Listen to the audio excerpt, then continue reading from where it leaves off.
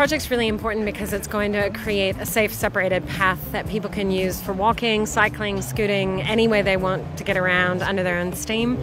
Um, all the way from the Hutt, eventually right into Wellington City. This is probably one of the more iconic projects I've come on. Um, in the last five years, see cycleways become more apparent, and this is obviously dedicated cycleway. This particular section takes us from Melling to Petone, and then we'll be working on the Petone to Ngauranga section. So we estimate this project is going to take 18 months, starting from construction at the moment. On one side we have State Highway, on the other side we have KiwiRail land and a rail corridor, um, which makes logistically quite hard. It'll involve two underpasses, one at Normandale and another one at Petone Station, plus a lot of work between the KiwiRail line and State Highway 2, connecting the two stations. Um, a lot of people involved in the planning and that. We have a certain tight time frame to get those underpasses in place, um, generally six to ten days.